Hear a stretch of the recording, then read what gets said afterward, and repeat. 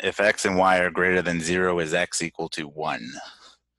So if we are trying to prove insufficiency here, we want to come up with at least two possible values for x, where one of them is 1 and one of them is anything else.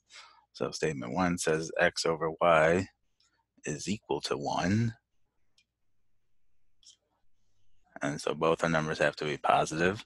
Uh, okay, so let's see. So when is this going to be true? Well, uh, the only time that the only way you can divide one number by another number and get one is if those two numbers are equal to each other. So x and y, so this could be uh, 4 over 4.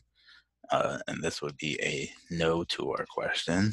And so now instead of just coming up with any random values x and y can be, we got to be asking ourselves, well, can it be 1? And it certainly can be because 1 over 1 is also equal to 1. So this would be a yes, insufficient.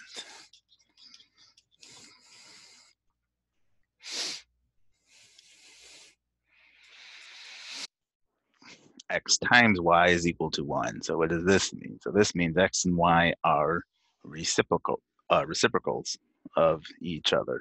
So for example, uh, remember x and y, they don't have to be integers. So x can be 5 and y can be 1 fifth. So this would be a no because x is not equal to 1. Uh, but remember, so 1 is the reciprocal of 1. So 1 times 1 would also work. So we have a yes here. Uh, so this statement is insufficient.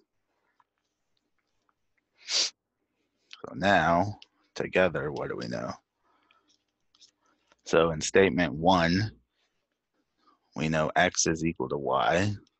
From statement 2, we know xy is equal to 1. So the only way we can get uh, multiply two of the same number to get a value of 1 would be if it's 1 times 1.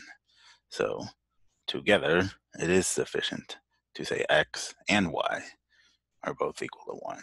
So C.